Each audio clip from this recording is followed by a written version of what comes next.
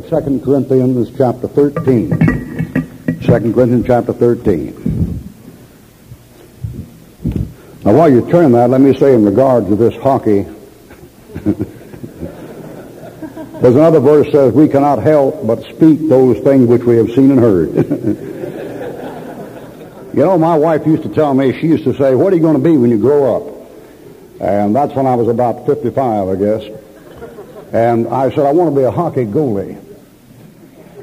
And all my life, I want to be a hockey goalie. If I'd have been come and reincarnate and come back in some of my life, I'd come back as a hockey goalie.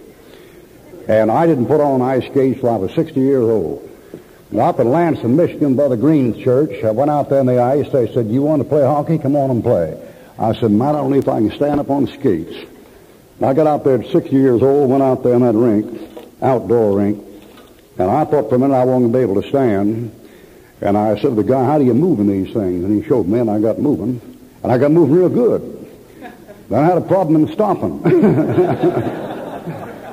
I fell down four or five times. I played goalie, and I played two hours that night, two hours the next night. I found out one, the you play a game outdoors in 20 degrees, you sweat like a horse, man. You can't even, you can't even wear a sweater. 20 degrees, man, you just sweat clean through. I came back the next year and played again, this year I played forward. And I'll tell you what, next time I'm up here, why don't some of you landmarkers here rent you that rink over? You got a rink over here, a little ways over here? Rent that ring, we'll play a little hockey, okay? Oh, you don't believe it. I forgot you folks are Christians.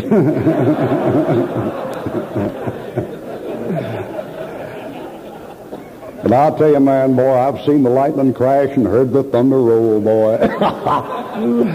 man, the first year after pay those guys, I went home that Monday night and got home that night and sat down in my living room, my wife and kids, you know, and, and sit around there at home, you know, and I, I love my wife and kids. I enjoy being home. Glad got me home safe. And I sat there in that living room, you know, three, three women, you know, a wife and two girls, you know.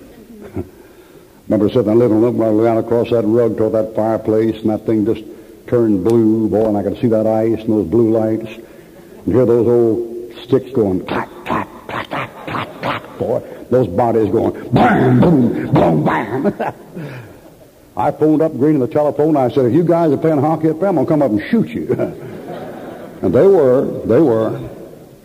Well, if I come up here again sometime, you'll get your ink over there, and we'll we'll have a little fun. Get uh, give me give me some good guys to play with. I'm going to give me some guys to handle the fellows under 40.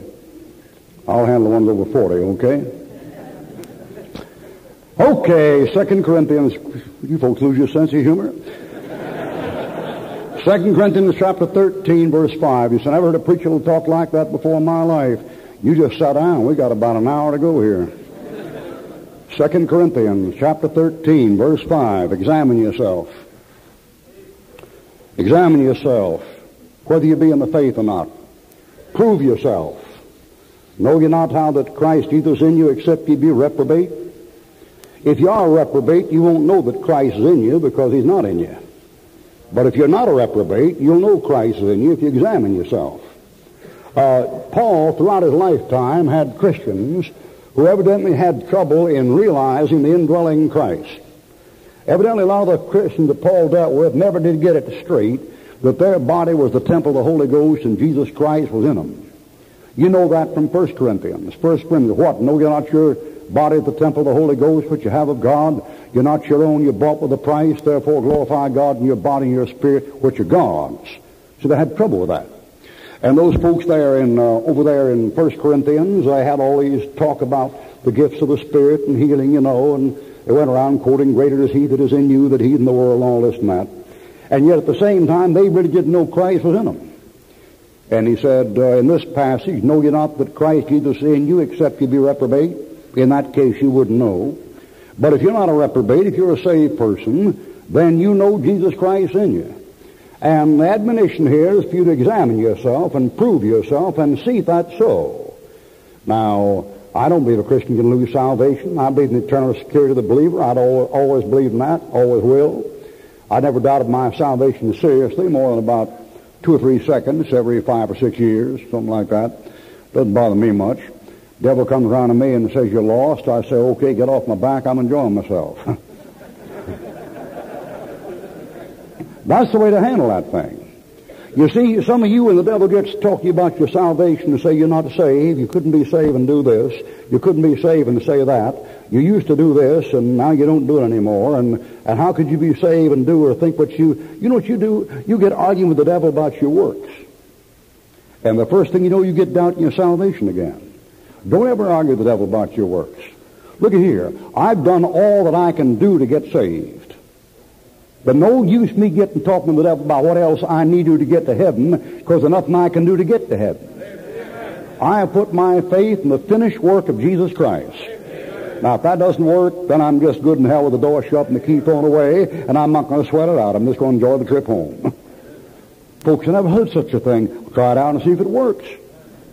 Trouble is you, the devil pins you down, gets you looking at your feelings and your works. That's where not to look. But he says, examine yourself, prove yourself whether you be in the faith. That is, it doesn't hurt you to check up once in a while and just see where you stand. Uh, God's people are prone to backsliding, prone to wander, Lord, I feel it, prone to leave the God I love. And God's people, uh, once in a while, will say, put it this way, they need to have kind of a little uh, a checkup. Checkup. Uh, Bob Jones Sr. said to me one time years ago, he wrote me a letter, and he used to write me quite frequently. And we had a, we had a real good relationship. I always thought very highly of him. I haven't changed my mind on either through the years. And Bob Jones Sr. wrote me a letter one time and said, Pete, he said, now, he said, uh, I trust your judgment, and I trust you know what you're doing. He said, but a fellow came by my office the other day and came and talked to me for a while, said he was a friend of yours. And he said, uh, I guess he was a friend of yours. He said, but I never met a more eccentric character in all my life. And he said, now, Pete, he said, I trust your spirit judgment matter. You partner what you're doing. But he said, you know, sometimes it just us kind of, you know, once in a while just kind of check up on ourselves. He had that fellow's number. That fellow got in the biggest mess you ever saw in life that got me in it along with it. And I've been going along there. I just hadn't been uh, checking some things. It doesn't hurt you to examine yourself. Uh, back when I uh, was a younger man, why, they had a war, and they had a real war, had the big one. And we won it, too. We beat the two biggest, strongest countries in the world, Japan and Germany. I don't believe we could whip a country the size of New Hampshire right now in the mess we're in. But you take back in those days, they gave physical exams. And the famous physical exam was inhale, exhale, you sail. that was the one. That was the one. Inhale, exhale, you sail. A guy would come back, a guy would come back from the place where he had his exam, you know, his physical checkup, and they'd say, did you pass? No, I'm 4F. They said, well, I didn't know anything wrong with you. He said, yeah, I got a physical defect. And they'd say, what? And he'd say, no guts. You'd get that. like the guy, the guy didn't get married, to a woman, he said, why didn't you get married? He said, they have religious differences. Said, she believed in money and I didn't have any. well, anyway, you're supposed to get a checkup once in a while. Once in a while, it doesn't hurt you checking some things. Now, I'm going to write down some uh, things tonight, and they're little things. And there are things that uh, you just wouldn't uh, you, you just wouldn't check up on them. You kind of take these things for granted as a child of God. And uh, as a child of God, every now and then you need to kind of check up on the things I'm talking about here. Now, I know you get good preaching here. I know that. And I know you get good teaching. I know you get a variety of things. I know anybody comes to this church regularly gets a good diet in a year round. You get anywhere in the world.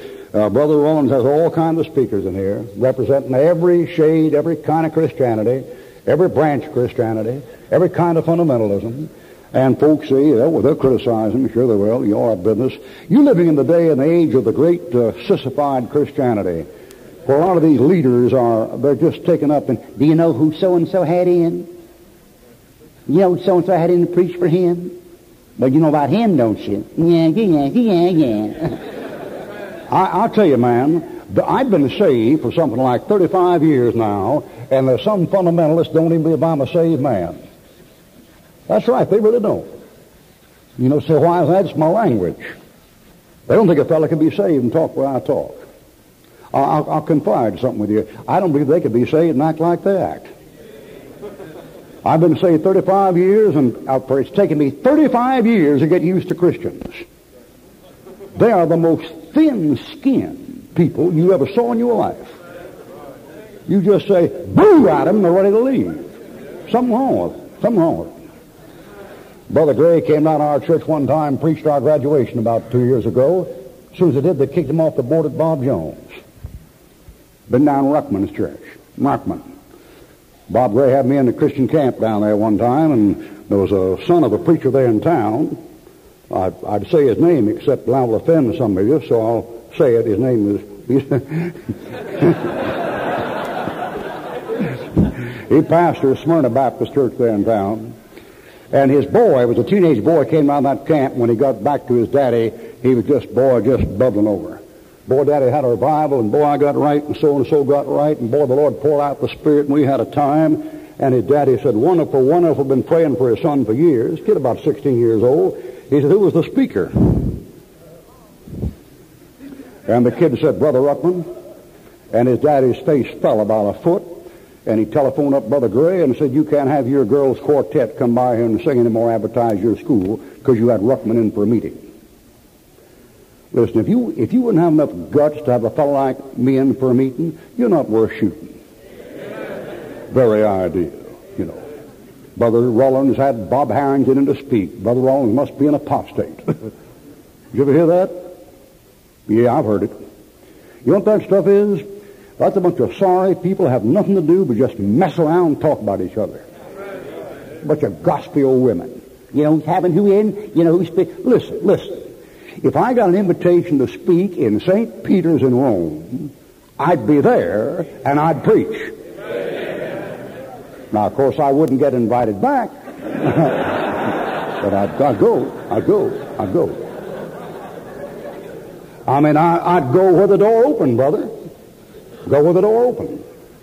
Now, once in a while, you need to check in some things. I'm going to talk about these things. And uh, the first thing is this. When, when you got into a place of need, did you pray? When you got in a place where you had a real need, did you pray?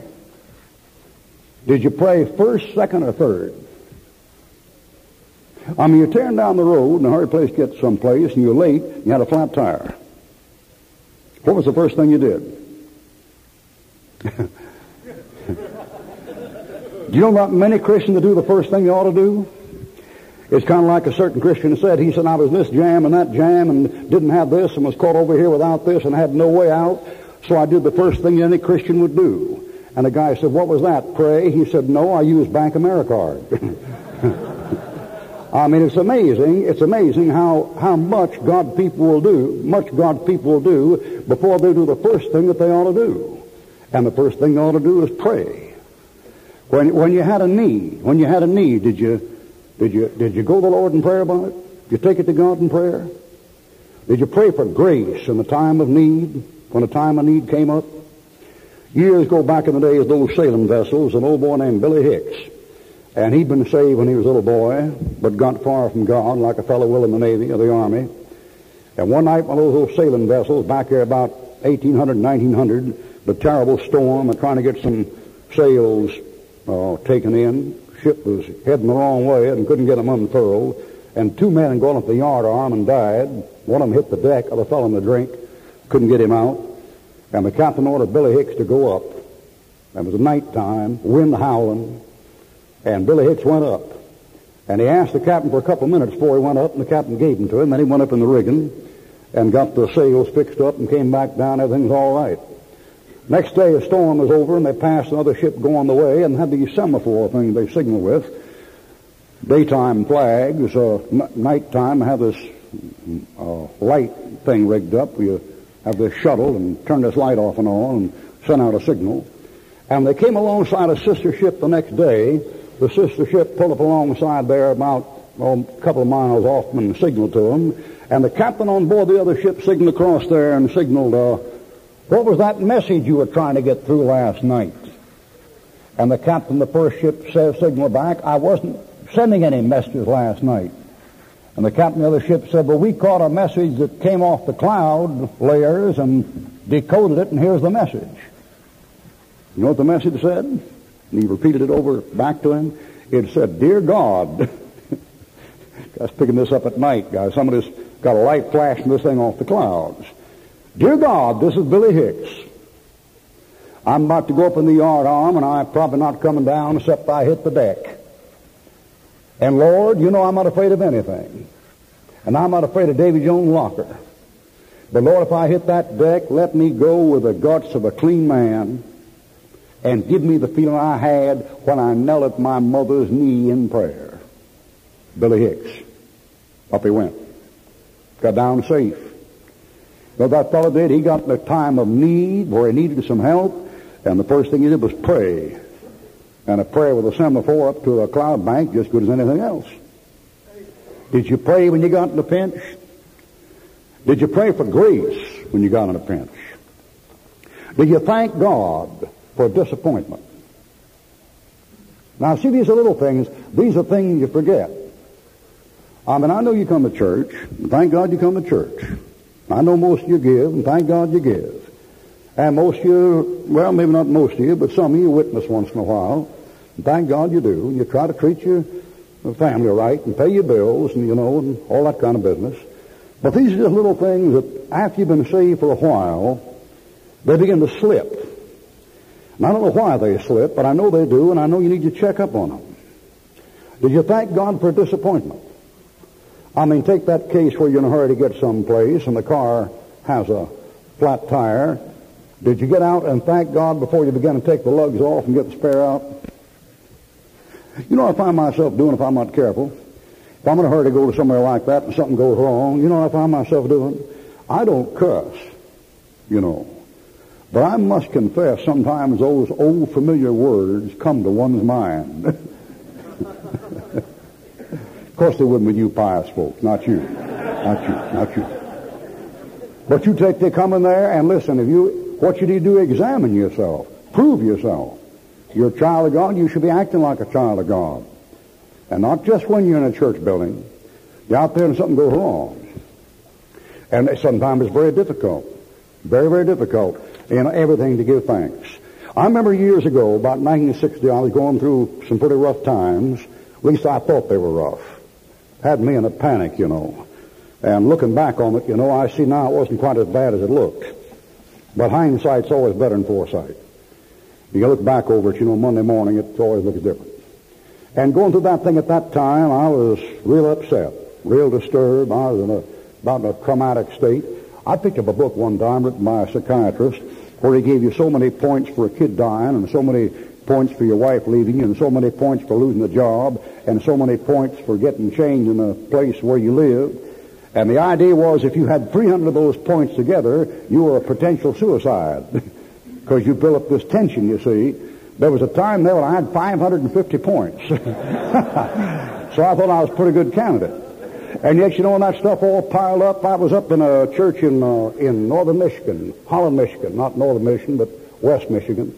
And I was at church up there in Holland, Michigan with a friend of mine named Garland Cofield, having a preaching service for him. I found out later Roy Batum had got saved in those services before he got that church put up in California. But at the time, I was just licking my own feeling sorry for myself. And you taking that mess was going on one night, Garland Cofield and I were talking about it in his living room, and he didn't say much. And after a while he said, Well, let me ask you this, Brother Pete. He said, Do you thank God for it yet? And I said something else to change the conversation. But what he said stuck. Now after that thing was over, I went back out of the room and went down the basement of the church, got praying for service. And the thought suddenly struck me, and all this thing I've been through, I haven't thanked God yet. And I wasn't going to either. I mean, you know. Well, how can you thank God for that? you thank you, Lord, for nothing. of course, you wouldn't say that, not you pious And after a while, I go gone down there, and you know something? I couldn't thank God for that thing till six months after that. And after that, the thing began to work out, and everything came out fine. Matter of fact, came out better than before. But that book says, be thankful. Give thanks and everything, give thanks. Did you remember to do that? If you remembered to read your Bible, did you remember to do that? You remember to have the blessing at the table, did you remember to do that? Did you ever ask God to give, give God thanks for something when you got a real disappointment? I mean, a sure enough one. You know, when I take a meeting, uh, my wife sets the alarm clock, and I lived by myself for years and years. I'd set my own alarm clock, but I would always wake up before it went off. And after a while, I quit setting the alarm clock. If I want to catch a plane at 6 o'clock in the morning, no, I got to be there at 5.30 and 30 minutes to the airport, I'll set my mind for 5 o'clock. And when I go to bed, I wake up from one to three minutes before the thing would have gone off. Kind of like you set an alarm in your head someplace, it rings in the morning. It takes all kind of folks to make a world, you know. and there was only one time in my life that I was late for a plane getting up in the morning, and that was the morning I trusted a guy to wake me up. Now, the only time. And his name was Nathan Bemis. And he was a fine fellow, loved the Lord, fine, a sweet fellow, of the sweetest souls you ever met in your life. My little boy said, well, Brother Pete, I promise you I'll get you up in time. And I wake up at that time of the morning anyway. And we had a big youth fellowship last about 1 o'clock in the morning. I had to get up at 5. And I said, boy, do it or I'm not going to get the plane. Well, don't worry, Brother Pete. I'll, I'll do it. I'll be there. I'll be there. I'll, I'll, I'll get you up. And I trusted him. Had every, every reason to trust him. A very dependable fellow. And boy, I woke up at 7 o'clock. That plane been going for an hour and a half and no Bemis. I got in the car and ran over and got him up and got out the airport and was late and missing that one and got the thing out there two hours to catch the thing in Atlanta. When I got there, I was on standby in Atlanta because I'd missed my seat. And I was out there in the, stand out there in the snow and sleet there and getting a sore throat. When I got off that plane at Henninger's to pe- preach that meeting up in Canton, Ohio, I had a sore throat and just about pneumonia and came in so late I missed the first service. Now the problem there is Thank you, Lord. I really do appreciate this. Did you know there's no such thing as an accident in God's plan for your life? God will let certain things happen, but boy, it's hard to thank Him for them sometimes, isn't it? I realize I'm talking to people here tonight that have a lot harder things to thank the Lord for than I'd have to thank for. And I, I, I know what I'm saying. It's tough. I got a phone call one time when I was a meeting in Oklahoma City, Oklahoma, and my wife phoned up. She's in tears and about to get hysterical. Said, I don't know what I'm going to do, and what's the matter, honey, what's wrong? Well, I, and blubbering over the phone. And I thought, oh, goodness gracious, some of the kids had been killed or hurt or something. And finally got out, she burned out the block on a brand new Oldsmobile. I mean, the piston just stuck in it, boy, 900 bucks. That was back in 1971. That job would cost you, I guess, about thirty-three thousand bucks a day, and and nine hundred bucks, you know. And I said, "That's all right, honey. Don't worry about it." Well, you're not mad? No, I'm not mad. You're not upset? No, I'm not upset. I mean, uh, while she's worrying about that, you know what I'm thinking about? I'm thinking about one of the girls, you know, with a leg gone or an arm gone or Come home have to have a funeral, little old girl, two years old. Every worst thing that happened to you than has already happened to most of you. Most of you got it real easy, you know that? Got it real easy. I hope you appreciate it. Examine yourself. Prove yourself, whether you be in the faith or not. Now, what else you need to do? Well, let me ask you this. I want to check you on this thing here. Did you look, did you look for a truth in God's Word when you studied it? Because when you studied it, did you ask God to show you something from it, or did you just read it? You need to examine yourself in those things. You pick up the Bible and study it just because it was a Sunday school lesson? Or you pick the Bible, you read it because that was your daily reading for that day. In order to read the Bible through once a year, you had to read uh, two chapters in the Old Testament and three chapters in the New Testament. One of them things. Let me ask you, when was the last time you opened that book and said, Speak, Lord, thy servant heareth? When was the last time you opened that book and said, Lord, open mine eyes that I might behold wondrous things out of thy law? When was the last time for that? I mean, if that book is the Word of God, and I believe that, and God Almighty has given you the other words He wants you to have, and I believe that, if that's, that's a book so great it contains mysteries that angels desire to look into, and the Bible says they do, is it beneath you to search it? Is beneath you to search the scriptures to see if these things be so? God's people don't study that book. They say, Brother Ruckman, I haven't been called to preach. That got nothing to do with it at all. So they say, well, I've been called to ministry. You don't have to be called to ministry. You say, Brother Ruckman, I don't have a college education. You don't have to have a college education. Bible says back there in Isaiah chapter 28, when that book is delivered to a man that is learned, who has the college education, he says, I can't read it because it's sealed and was given an unlearned man that didn't finish high school, he says, I can't read it because I ain't learned. And the Lord says, You're both lying. You're both lying. The thing is, you don't want to read it. You got a sneaking suspicion what it's going to say. like a fellow said down south one time, said the only reason why you're against that book is because it's against you. And that's true. You said, well, Brother Ruckman, what person but a mad, mad man would be interested in reading a book that was against them? Well, when you get a new nature, you enjoy a testimony against you. When you get a new nature, you enjoy a testimony against your old nature. Amen? I mean, you folks here that don't appreciate good, hard, straight, rude, crude, plain preaching, there's something wrong with your Christianity. Listen, if you were you ought to be in the right fellowship of the Lord, you'd appreciate a rebuke. I mean, reproofs of instruction are the way of life. Now, did you do that? Did you search that thing? You said, well, I just I had much book learning. I don't think I get. Listen, we had a we had a meeting last year, and down there at school, I've gotten more and more conviction every year about not having not enough have enough preachers in there. All my people get to hear is me and McGee all the time, and I want to have them hear somebody else, learn how somebody else does it. So the last couple of years, we've been having two revival meetings a year, and inviting three preachers in for both of them. Those kids can hear six different preachers every year. They've been there three years, got 18 of them. And one guy we had in is an old redneck mutt in North Alabama named Red Robinson. And Red Robinson's an old Alabama boy, had never finished high school, went off and joined the army. He talks just like a colored man. You couldn't tell the difference. You take that fella, he can hardly read and write, and when that fella gets up, he'll give you something new and fresh every time he hits that pulpit. I never seen like it in my life, that guy. I remember the first time I heard him, he got up and said, Well, he said, you folks say you believe the Bible, and I guess you do.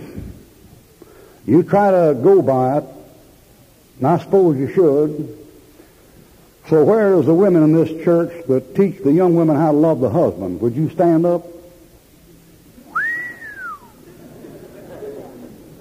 Boy, Titus says the older women teach the younger women to love their husbands. I know, you know, the next time he got up, he got up and said, Well, I mean, crazy thing you ever heard in your life, man. I mean, just, you think the guy's almost illiterate. Boy, he'll bomb you out of your seat, man. You know what he's doing? He's studying that book. He's praying for wisdom. He's getting wisdom. You never heard such wisdom. Our boy got up and he said, well, he said, uh, you folks uh, love Jesus Christ, I guess you do. Said, and you try to honor him and give the glory has coming to him, and I believe in that. Well, the Bible said the name of Jesus every knee shall bend, every tongue confess Jesus is Lord. Well, when you fellows out in the job and working, and somebody takes the name of Jesus in vain, do you bow down and confess him right there? That's what it said. It said, at the name of Jesus, every knee shall bend. Good night, man. That's a threat to having your church. you know what he said one time? He got up and he said, this fellow come this vineyard and he said he come here three years. He said, seeking figs on this tree. And he said, why does it come to the ground? Cut it down. He said, I wonder why we don't apply that. He said, why do we have a big sign out in front of a church saying, when you join this church and become a member of this church, we'll give you three years to bear fruit, and if you don't, out you go. Wild stuff, man. You're some of the greatest things you ever heard in your life you get from somebody that just reads that book through because they love it and God shows them things. You know, there's no Greek Hebrew scholarship to it. The Holy Spirit that wrote that book, that ex- can explain that book. That's the one. I had one this morning, you know. I don't have a TV at home at all. The one. I had one this morning, you know. I don't have a TV at home at all, you know, but I get out in a, in a meeting, I'll run across there. I'm looking for a spiritual blessing or else a hockey game, one or the other. With me, they both come under the same heading. and I've tried my best to find some good spiritual TV programs, you know, and boy, you can't find them. You can't find them. I usually give up a couple of them just turned off. I heard one old boy this morning, colored preacher. Man, he could preach. That bird was going. He's preaching the older brother. Man, I got me a camp meet right in that room, man. I run around the room, jump up down the bed and holler and scream, man. He'd say, is that right? I said, that's right, brother, that's right. you know, am I right? You right, you right. Now, he putting on, boy. I never heard such an exposition the older brother in all my life. He said, and when the prodigal son come home, he said, older brother said to his daddy, he said, uh, Daddy, how come uh, you never uh, cooked a piece of roast lamb for me? So, well, in the first place, he probably never asked him to. probably, yeah, that's probably right.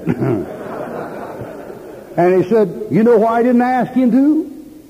Because his heart wasn't in the right relationship with his father. And when you're in the right relationship with your father, you always ask somebody else to pray for you. You don't do your own prayer and ask for nothing because you're afraid of what he's going to say to you. you're right, brother. You're right, man. You're right. I never heard any better than that man. He got on there and he said, you never asked any of my friends to come there. Well, uh, the kind of friends he had, you probably couldn't invite to the Father's house. Well, that's a thought. That's a thought, man.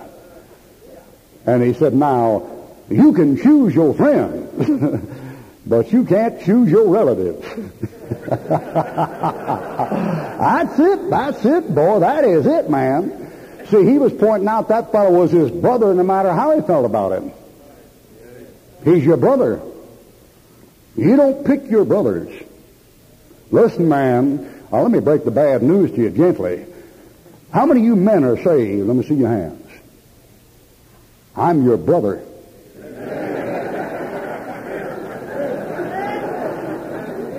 I am too. Because like he said this morning on that, on that TV, he said, you ain't got nothing to do with it. it's your father that decides who comes in the house. Amen, amen, amen, amen, amen. Where did he get that from? He didn't get that from any Greek or Hebrew manuscript. He got that from the author of that book.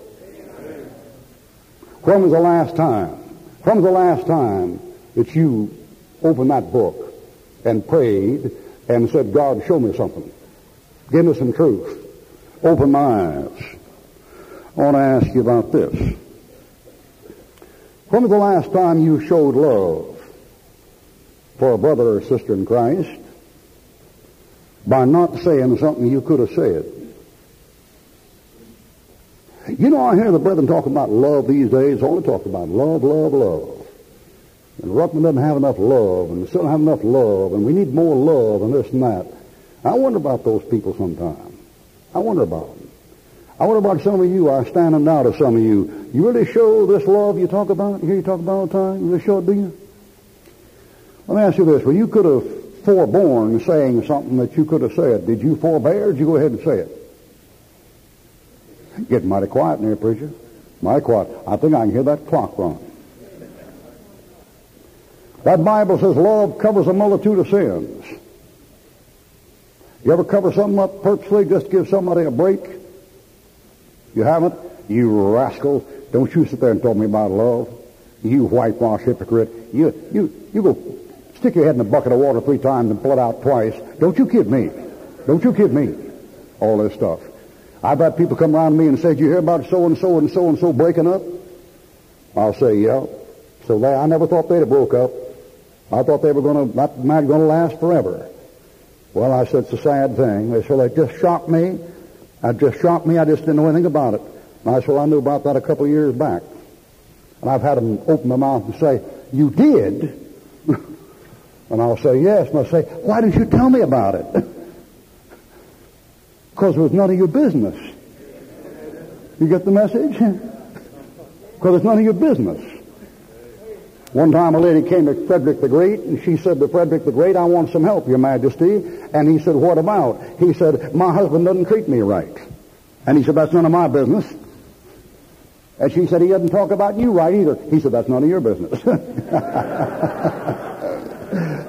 you know, if you just cut down and get everything down and get rid of everybody's business but your own, you'll find you got enough to do to keep you busy. When was the last time you did that? Now let me ask you this. When's the last time you stuck your neck out? for Jesus Christ? When was the last time you took a chance for Jesus Christ? When was the last time you laid your head in the block and took a chance? I mean, some of you folks too conservative.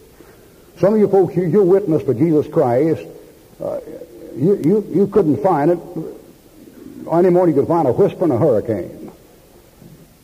You're like a man with yellow jaundice in a yellow room with yellow bedspreads and yellow furniture. Nobody can find you when they come in the room. There's a fellow down, fellow down off the beaches in Miami they call Holy Joe. And one of our graduates down there working down there with him. And uh, Grady got a chance to work with him. And Holy Joe has spent all his life going up and down the beaches Miami witnessing. And he goes up and down there fully clothed. All those nude and semi-nude people around there and witness to him. They all make fun of him, laugh at him. A couple times he's been arrested and then got back out of it. They call him Holy Joe. Holy Joe, they call him. That old boy there, he's a saint. You say, Brother Ruckman, are you suggesting that I go up down the beach like that in public and make a fool out of myself? No, but I suggest you make a fool out of yourself some way, for Christ's sake. I mean, Paul said, if any man among you seem to be wise, in this world let him become a fool that he might become wise. We're fools for Christ's sake. How about you? You a fool for Christ's sake? Tell me about it. When? When? Some of you birds sitting here tonight, 40, 45, 50 years old, you never made a fool out of yourself one time in your life for Jesus Christ. So conservative. I mean, so, so, such respectable folks. Acceptable. Don't tell me, listen, don't tell me before you were 40, you didn't make an ass out of yourself on a number of occasions. I don't believe you. I don't believe you. I don't think there's a grown man this bill over 30 years old that make a consummate idiot out of himself at least once or twice. Come on. Twice? uh-huh. Once? I'll bet if I knew the history I'd find one time. And the trouble is that the thing here, you'd make a fool out of yourself for the devil, or make a fool out of yourself over a woman, or make a fool out of yourself to get a buck, but you would make a fool out of yourself for Jesus Christ's sake. When are you going to do it? I read a story one time that got me under deep conviction, and was about an unsaved man. Matter of fact, most of the things I've ever read in the Christian ministry preparing messages that have got me under conviction were about unsaved men. They seem to have more character than saved men for some reason. I can't figure the thing out. But you take over in Vienna after World War II was over, the Russians met there with the Americans. They all drank toast to Stalin, cognac, and a bunch of vodka and stuff. And at that meeting over there were all the American communists who'd been communist sympathizers all through the war. One of them was a Jewish fellow, an unsaved Jew named Billy Rose, who was a New York showman, put on the ice capades and everything. You may remember him. And Billy Rose was there, and they drank a toast to Lenin, a toast to Stalin, a toast to Roosevelt, and a toast to Churchill. And finally they noticed Billy Rose wasn't drinking. And one of those Russian officers said, well, how about some cognac for friendship to the interpreter?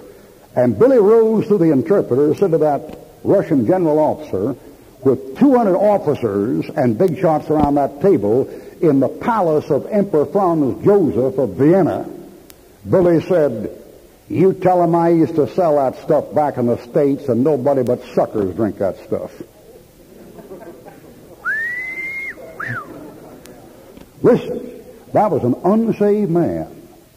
Boy, did he stick his neck out. I want some of you to stick your neck out that far for Jesus Christ. That fellow wasn't even saved. Wasn't even saved. Let me ask you another question. When was the last time you had spiritual communion with a brother or sister in Christ? I mean fellowship built around a spiritual things. You know what God's people tend to do? They tend to get together and just have fellowship around uh, personalities and around church problems and church politics. Boy, I'll tell you, many a church down south, when a bunch of Christians get together for a prayer meeting in the home, all it is is an effort to get rid of the preacher. That's all it is. You know. Or have a friendly little Bible study. I've seen them work around, you know. Let's, let's the deacons get together, let's invite so and so in and take care of the music. You know, we kind of ease the pastor out. I, don't, I don't know how it is up here. I say up here, you're you're not too far up here if you're right down next to the river. But you take Southerners, they're the greatest politicians the face of earth. Everybody knows everybody. Everybody's kin to everybody. And some of those Christians get together, all they do is just talk politics. They don't talk about the Lord Jesus. They don't talk about the Bible. They don't talk about prophecy. They don't talk about soul winning. They don't talk about Bible doctrine. They talk about, I like him, I like her, and I like them, and I don't like them. Do you like them? Well, I used to like them, but I don't like them. Do you like this? Well, I like that. Well, shut your mouth. I mean, start liking what God likes and not liking what God don't like. We got an old boy down there in Pensacola, Florida. They call him the old gospel man. J.G. Whitfield, the old gospel man. Boy, he, he is something else, man. You talk about you talk about a wimp. I'm telling you, that that guy get in there every day, you know, for about two hours and advertise for some grocery store, and in that grocery store advertising saying, "Well, now, uh, good afternoon, all you fine folks. Well, this is the old gospel man, old J.G. Whitfield, and we hope you folks are fine out there." How you fine folks doing? We hope you're feeling fine. Well, I'm feeling fine. Well, how you fine? Well, all you good folks out there, we sure appreciate all you fine folks. Get a fine record here for all you good folks. Oh, come on. Nobody's that good. Nobody's that fine. All that stuff, I like it. I just don't like it. You're talking about Elvis Presley and John Lennon and Belushi and some of these dope-headed fornicating bums, and those folks down say, well, I like him. Well, some folks like you know, like a fix. So what does that prove? You're getting too quiet on me again. I feel like that color preacher this morning. He say, "Talk to me, man. Talk to me." when was the last time you had real spiritual communion? I mean, didn't get together to pray, you know, about somebody you didn't like, you're trying to get rid of. But got together to pray somebody was in trouble and hurt and needed help. That's the business. I mean, examine yourself. Prove yourself whether you be in the faith or not. Know ye not that Christ dwells in you except ye be reprobate? Let me ask you this. When was the last time that you gave any encouragement to a new convert? You say, well, I shake the hand, that's fine. Did you visit them in the house after they got saved? Did you go by and see them? You might invite them over for supper? You know, you, you know, some of you saved people been saved for years and years and years and don't win the souls to Christ and have a hard time witnessing. You know one ministry you could do that you're not doing? You could take every new convert this place has got here and take them out and begin to work with them and help them with the Word of God, encourage them to go to services and bring them to services. You know the trouble some of you is? You, your heart isn't right. Well, they knew what I knew about the preacher, if they knew what I knew about the trustees, if they knew what I knew about the debt, if they knew what I knew, listen, you rascal, if God knew everything about you that He knows about you and told it to me, I couldn't stand to look at you. What you better do, you better get rid of that stuff and get into some kind of ministry and help somebody else. Now, new converts need help. I'll be inter- eternally indebted to two fellows in my life. One of them is dead and gone now, the other one is still living. The man that led me to Christ was Hugh Pyle. And Hugh Pyle is a fine fellow. Loves the Lord, believes the book. He's a, he's a sweet fellow, real gentleman, not like me a bit. And that fellow's a real nice, sweet gentleman. He loves the Lord and believes the book, and he's a mild-mannered fellow and a quiet-spoken fellow. And he hangs out with uh, all the crowd that's got no use for me at all. And I'm sure, I'm sure they give him a fit. I get some nice fatherly letters from him once in a while, and I appreciate them. I mean, really, I'm not being sarcastic. He'll send me a nice letter saying, uh, Dear Brother Pete, uh, I think if you'd present your beliefs in a little bit more acceptable fashion and not quite be so hard along some lines, you might get a better hearing. And if, if you could just learn how to kind of present, you know, he tries his best. And if too late, you can't teach an old dog new tricks. but I appreciate him. And I know when he goes up down the country, he often preaches to the fellows that probably spend the evening devotion praying for God drop me in my tracks but he hadn't yet. and you take old Hugh Pyle, he's the guy that got me drawing. I mean, you see me up here drawing tonight? You know got me up here drawing? Hugh Pyle. I wasn't going to draw. I was going to preach like any other preacher. And Hugh Pyle found out I'd been painting some murals there in town for the cocktail lounges, the radio stations. You know he did? He came by the radio station one day where I was working, had a little old booklet about this big of Sunday school cartoon tracks by E.J. Pace He used to cartoon for the Sunday School Times. And he said, You're an artist? He said, Maybe you'd like to look at those. He knew what he was doing. Soon got looking through those things, and I thought the first thing that any artist would think, I thought, Well, I can do better than that. and first thing you know, I got me a board and got out there on the street and I was drawing his cartoons. And the first thing you know, I was drawing my own. And the first thing you know, I was quoting scripture when I was drawing them. And the next thing you know, I was preaching while I was drawing them. I didn't learn how to keep from stepping over a mic cord and keep the chalk off all the clothes and on the board with the perspective and composition and color right and memorize the scripture and keep the outline just overnight. But that guy got me going. He helped me. He helped me. I said, I thought that fellow helped me. He didn't go. Now his name is Glenn Shunk. And Glenn Shunk was an old saved Catholic from Indiana. He was saved in World War II, and I was lost. But Glenn witnessed when he was in, led people to Christ.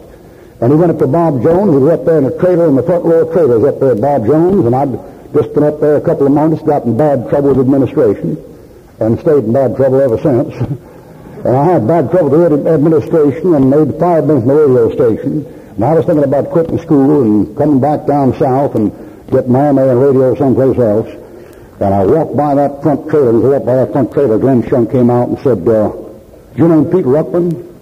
And I said, "That's right." He said, you're a new convert, aren't you? I said, yep, that's right. I said, how could you tell? He said, I can tell by your face. He said, you got a face like a murderer. I said, that's me, that's me.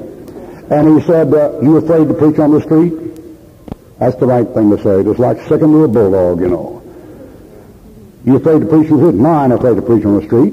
He said, why don't you come on next Saturday and preach on the street? I went out there and preached on the street. I led my first two souls to Christ. One was a black fellow walking down the street about 25 years old. One was a white man, a truck driver in the cab of a truck, about 30 years old. And I got a taste of that. I got a taste of that and went back to that school and dropped all my radio courses and enrolled in freshman Bible, even though I had a college education, and came clear through again. I've had three college educations. Had to start clean over and come again for postgraduate. But Glenn Shunk got me in the ministry. He's a help to me. You get people saved here Sundays, do you? You keep track of them? You help them out?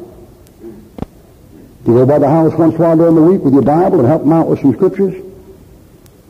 You just sit there and blink at me. Listen, some of you folks leaving that stuff up to the preacher and up to the, up the workers. Some of you folks I'm talking to right now could do that, and you do a better job because you're close to them. They don't even suspect you. amen, amen, amen. Amen, amen, amen.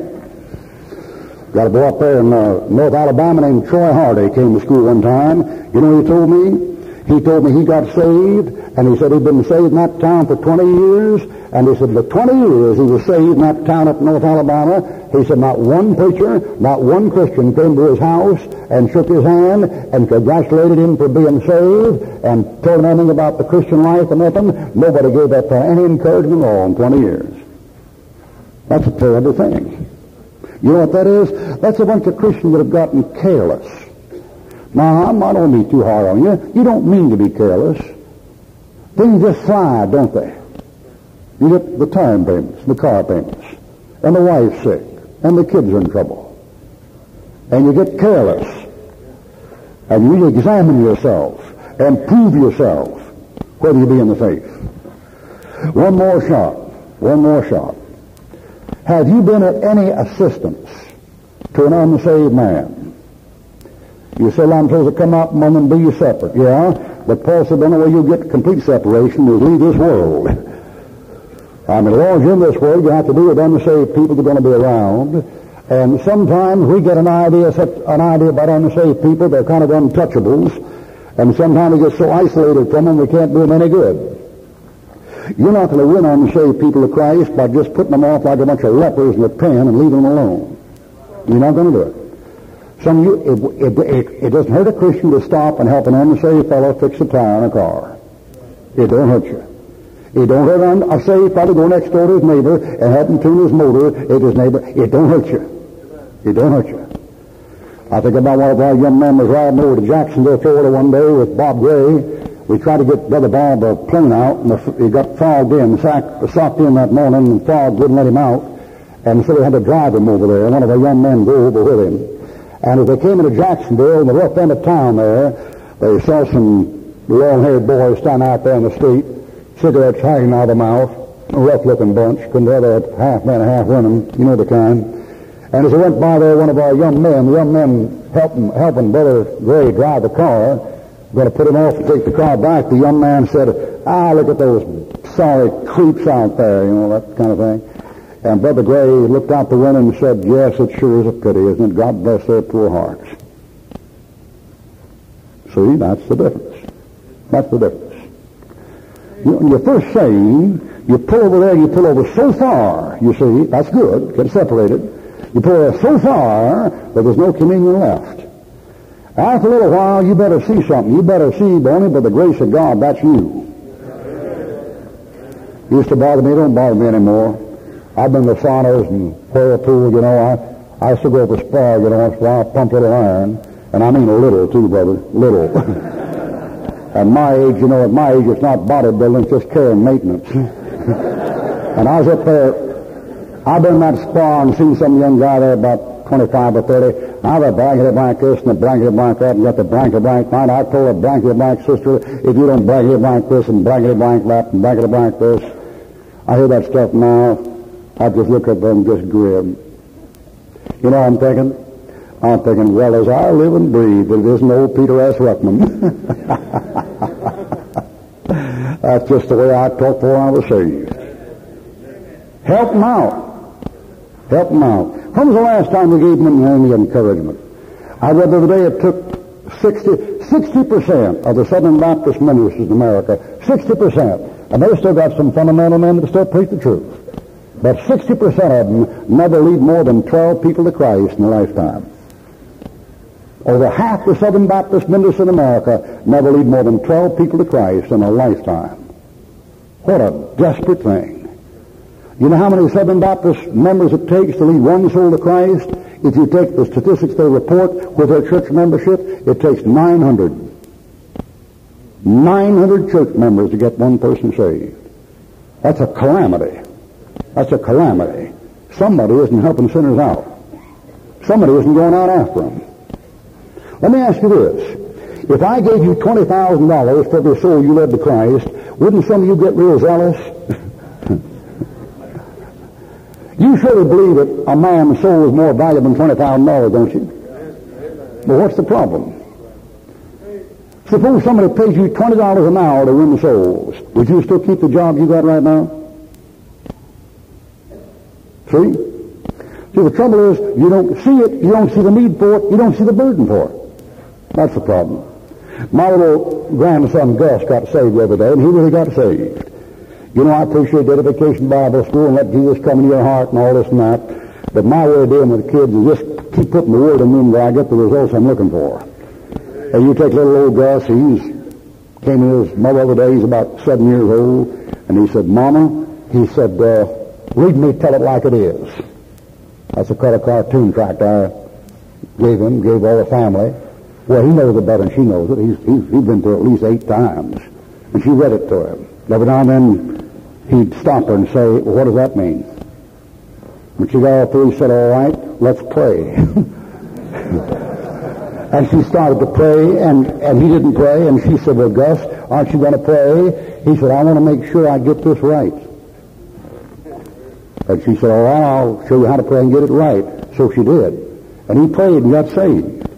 And he got saved. She went and told David about it. And, you know, David knew he'd been going to vacation Bible school, memorizing scripture and all this that. That kid knew more scripture at four, and I knew at 26. And they were kind of, you know, shrugging their shoulders, you know, kind of, you never know when it's real and when it's not, kid that age, you know. And about that time, the door opened and Gus came in. He was a real bright, peculiar character, you know. He looked at him and he said, what's wrong? and David said, nothing. And the boy went out.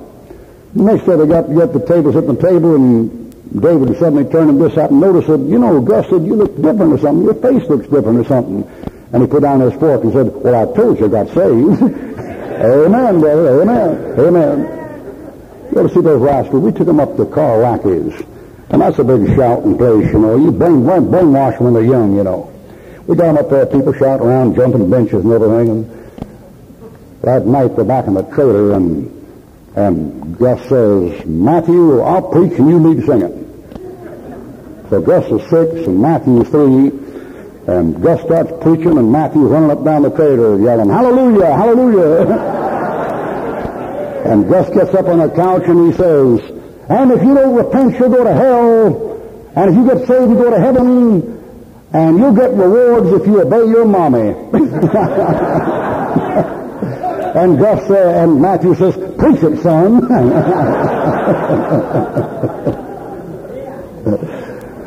now listen, you know those souls are precious. Uh, some of you folks, you know what your problem is? You're just not soul conscious. That's it. I went to the house the other day. I was doing out doing visitation with my young man I had my visitation work, Brother Reed, fine fellow. Many times, listen, many times I've been out sitting around in homes down south talking to about the Lord, talking about the soul, and had the Lord tell me just as distinctly say, get up and get back in that typewriter. I've had that happen many a time. The Lord told me there people can do this. You do what you can do. But I still knock on doors, still make visits, and the Lord is still giving me some souls. I was out the other day Brother Reed, went to the house there, and lady had about four children, about a year apart. Oldest about, oh, about eight, I guess. And, oh, that big banging slam around the house, and Brother Reed's got wisdom. I mean, just learned how through the years doing personal work. So he babysits, you know. I sat on the couch and talked with the woman, and he got the kids off in the hallway and got playing something with them. We'll mess things up. Talk with that woman. She's sour in churches, mad at churches, couldn't come, didn't have any clothes, poor, on welfare. They got food stamps, this stuff, humiliated. They've been messed up in their married life, and when she was in the hospital, and giving birth to a illegitimate child, some preacher came in there and told her she had no right to raise that child. She had to farm that child out, let somebody else adopt that child because that child was born in sin and this and that. I mean, one preacher didn't have a sense God gave a brass monkey. And we got talking about this and other thing, and finally got around to where she said she'd never seen how to be saved, took out a Bible, showed her how to be saved. And then she said, well, I'd like to be saved. I said, okay, let's even have a word of prayer. And she said, all right, but I'm not going to pray out loud. And I said, okay. So I just knelt my head and prayed anyway. When I got through the prayer, and I said, now, if you'd like to be saved, uh, and don't want to pray yourself, I'll, I'll show you how to pray. You pray with me. She prayed and asked the Lord Jesus Christ to save her asked the Lord to save her, got born again, real, got up crying, got her track, went about her business. Folks say, oh, well, you can't waste time with poor folk like that, never amount to nothing anyway. That troubles some of you folk. folks. You just, you've been saved too long. You're just too big for your britches, some of you. You know what you need to do? You examine yourself. A little self-examination. Prove yourself whether you be in the faith. All right, let's go to the Lord in prayer.